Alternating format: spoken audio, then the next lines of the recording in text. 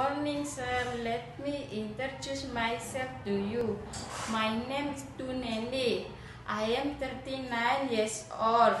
I am married. I have three children and I have three sisters and two brothers.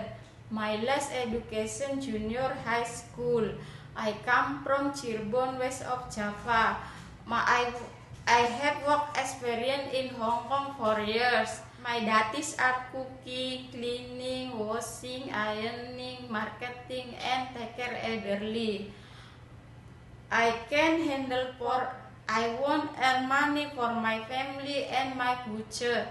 Thank you, ma'am. Thank you, sir. See you in Singapore. Bye bye.